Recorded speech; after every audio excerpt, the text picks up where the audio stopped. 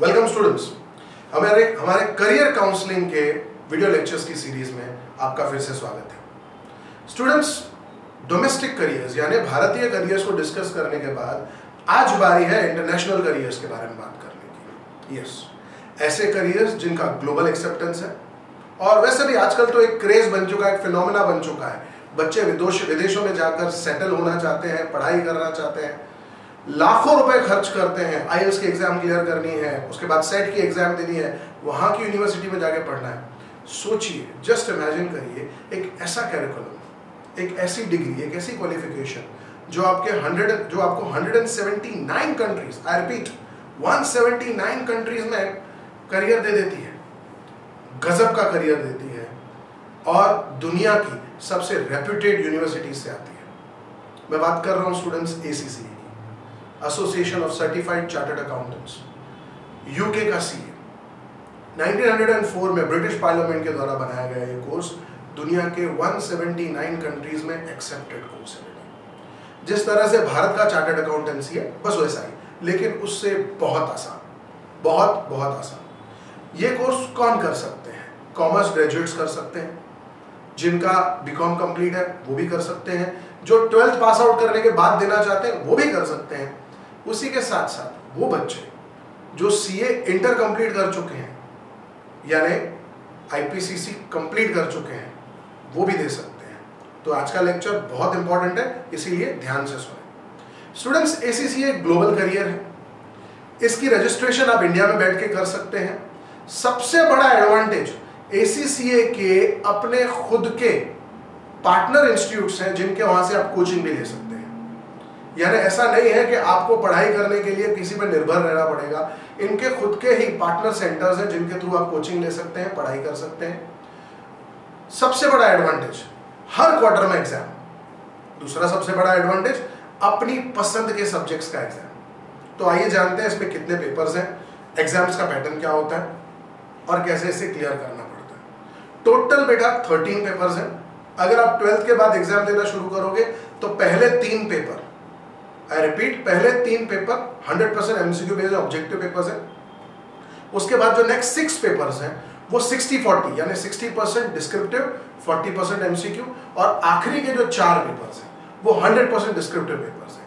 सब की सब एग्ज़ाम्स ऑनलाइन होती है और आता है सबसे बड़ा एडवांटेज एडवांटेज ये कि आप एग्ज़ाम्स अपनी कन्वीनियंस के हिसाब से दे सकते हैं। आपको कोई भी ग्रुप फॉलो करने की दिक्कत नहीं है।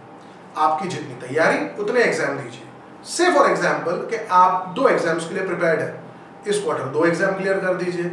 नेक्स्ट क्वार्टर आप एक एग्ज़ाम देना चाहते हैं, एक एग्ज़ाम क्लियर कर लीजिए। इस तरह से अपनी कन्वीनियंस के आधार पर अपने कोर्स को तैयार करिए। इस कोर्स के अंदर तीन साल का, यानी 36 महीने का इंटर्नशिप वर्क एक्सपीरियंस मैंडेटरी होता है। और यहाँ पर ही सबसे बड़ा एडवांटेज मिलता है। पहले नौ पेपर खत्म कर लेने के बाद आप कभी भी अपना इंटर्नशिप शुरू कर सकते हैं। और यहाँ पर आप सोचिएगा और इमेजिन करिएगा इंडिया में रहकर ये करियर कितना ज़्यादा बूस्ट दे लेता है अपना।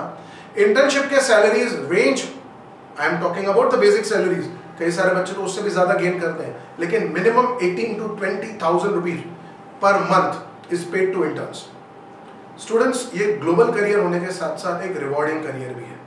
और एक बड़ी चीज़ यूरोपियन यूनियन ऑफ़ अकाउंटेंट्स ये एक यूरोपियन यूनियन की संस्था है। इन्होंने एक ऑर्डर पास किया है कि नेक्स्ट ईयर से पॉसिबली नेक्स्ट ईयर से they are going to make mobility of accountants free in the Europe मतलब यूरोप के जितने भी अकाउंटेंट्स हैं, वो किसी भी कंट्री से कहीं भी जाकर काम कर सकते हैं। तो अगर आपके पास ए है 29 countries of Europe will welcome you students गजब का करियर है, गजब के प्रोस्पेक्ट्स हैं। सारे कॉमर्स ग्रेजुएट्स को करना चाहिए। कितना ज़्यादा और कैसा रेशियो है, वो भी समझते हैं। जो इसका फंडामेंटल लेवल है बेसिक लेवल उसका पास आउट रेशियो है 68 परसेंट और जो इनका प्रोफेशनल लेवल है, वहाँ पे पास आउट रेशियो है 55 परसेंट यानी passing ratio is extremely high तो करियर वहाँ भी गजब का ले लेते हैं. One more important point that many students don't know about ACC many student miss out on ACC आप एसीसीए के लिए साथ ही कोई भी क्वालिफिकेशन कंटिन्यू कर सकते हैं। तो आपके ऊपर कोई बर्डन नहीं है कि आपका एसीसीए चल रहा है तो आप दूसरी कोई क्वालिफिकेशन नहीं कर सकते। आप पैरेलली दूसरी क्वालिफिकेशन भी कर सकते हैं। ऑल्सो किस स्टूडेंट्स को कितने पेपर देने पड़ेंगे?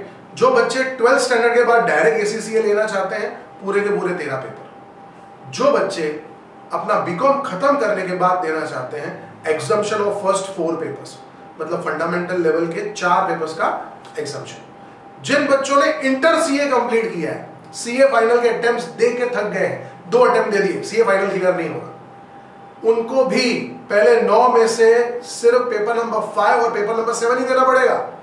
बाकी के सात एग्ज़ाम से उनको एग्जामेशन और अगर कोई चार्टर्ड अकाउंटेंट एसीसीए करना चाहता हो तो उसको फंडामेंटल लेवल पूरा का पूरा एग्ज़ाम सिर्फ़ प्रोफेशनल लेवल की चार एग्ज़ाम्स क्लियर करनी पड़ेगी। That's it a global career welcomes you आप जैसे ही एग्ज़ाम खत्म करेंगे, आप एसीसी एफिलिएट बन जाएँगे। प्लस अगर आपका इंटर्नशिप कंप्लीट है और एक बेसिक मैनेजमेंट मॉड्यूल कंप्लीट है you are an ACC member then the world is waiting for you पूरी दुनिया में आपकी वैल्यू है। एसीसीए की रिक्वायरमेंट कितनी बढ़ रही है? Every year the demand of ACCA graduates is increasing by 12 percent so a flourishing career awaits you जाइए और फटाफट एसीसीए के लिए एनरोल करिए अगर आपको एसीसीए पसंद आया हो तो। Thank you so much students